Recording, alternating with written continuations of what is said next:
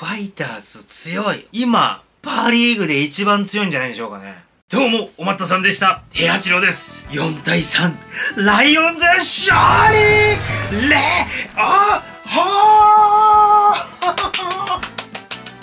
ーよっしゃー勝ちました。ありがとうございます。ファイターズに勝ちました。なんとか勝った最後。ヒヤヒヤだったぜもうね。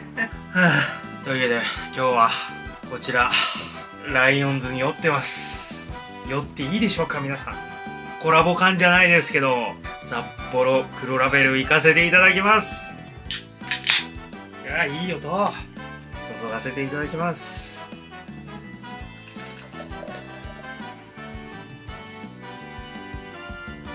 ね泡だらけ、泡だらけでございますが、ああきます、いただきます。ちなみに、この黒ラベル、ビールも、えー6缶入り、ともさんからいただきました。社長からいただきました。それではいただきますライオンズ勝利に、乾杯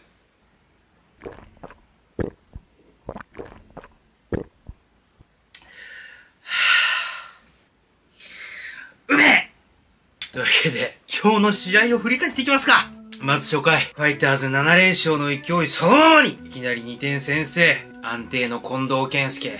そして今年、成長株の今川優馬もタイムリー。この2点を取られた時ね、あー、今日も持ってかれるなーとぶっちゃけ思っちゃいましたよ、ほんと。今日の先発の平井はね、正直ね、良くなかったですよね。球もちょっと上ついてたし、ただ、今日は守備が良かった。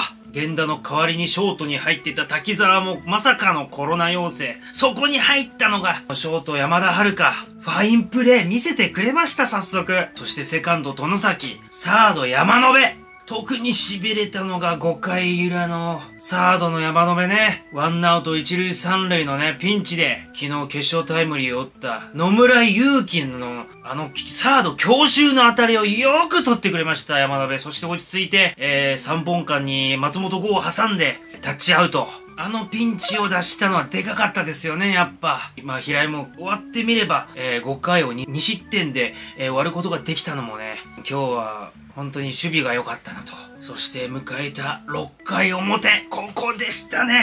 ここでした。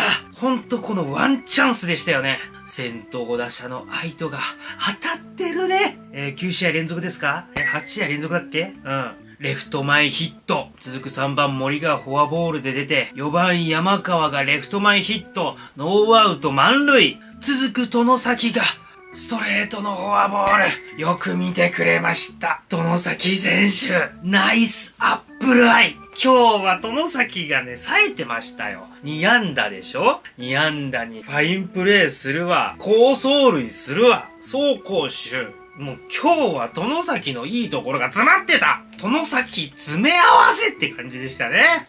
これでスコアが、えー2対1、1点返して、えー続くオグレディが犠牲フライ。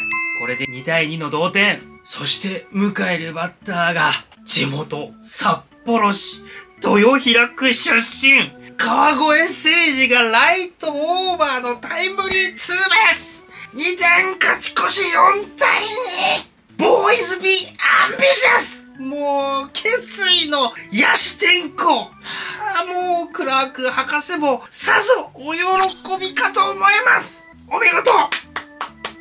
えー、9回裏は、平が出てきて、ツーアウトまでね、ポンポンといったけども、ヌニエシレフト前ヒット、松本剛がセンター前ヒット、一塁三塁で迎えるバッターが、上川端。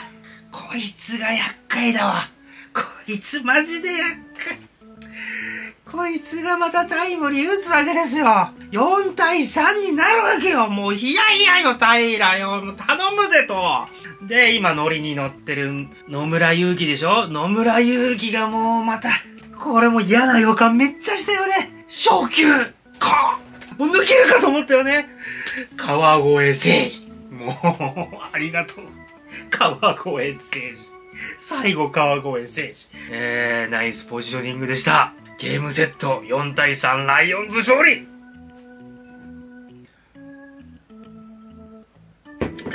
まあしかし、しかしですよ、ファイターズ強い。本当に強い。今、パーリーグで一番強いんじゃないでしょうかね。いや、正直ね、明日の試合心配ですよ、僕は。何ですか、あのチームのベンチの雰囲気。負けた、負けてゲームセットの後も、ファイターズベンチがなんかにこやかじゃん。普通だったらさ、ああ、終わった惜しかったなーみたいな感じで終わるかと思ったらさ、打った上川端にさ、ええー、みたいな、ええー、ナイスバッチみたいな感じでさ、にこやかじゃない何あの雰囲気。不気味ですよね。なんかまだ連勝が終わってないみたい。雰囲気が。これね、すごい嫌だった、見てて。なんかね、背筋がゾゾゾってなったね。これね、ファイターズ本当に強いですよ、これ。明日ほんと油断したらやられますよ。いや、気をつけましょう、ちょっとマジで。まだね、この7連勝の残りがが全然残ってると思います、明日。気引き締めて、行ってもらいましょう。明日、与座投手。最近ほんと、本当にいいんで。これここらでね、与座投手が明日、そうですね。できればもう、8イニングぐらい投げてほしい。で、平を休ませたい。今日のピッチング見てるとね、ちょっと不安ですよ。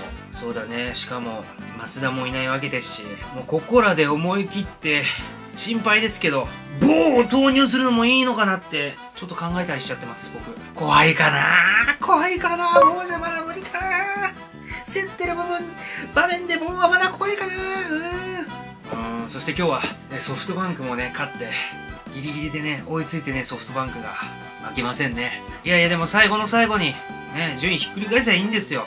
並走しときましょう、並走。といったところで、今日の動画はこれで締めさせていただきます。よろしければチャンネル登録、いいねボタンの方よろしくお願いいたします。そしてコメントの方もどんどん書いていってください。えー、返せるコメントは、えー、ちゃんと返していきたいと思います。それでは、また明日お会いしましょう。さようならライオン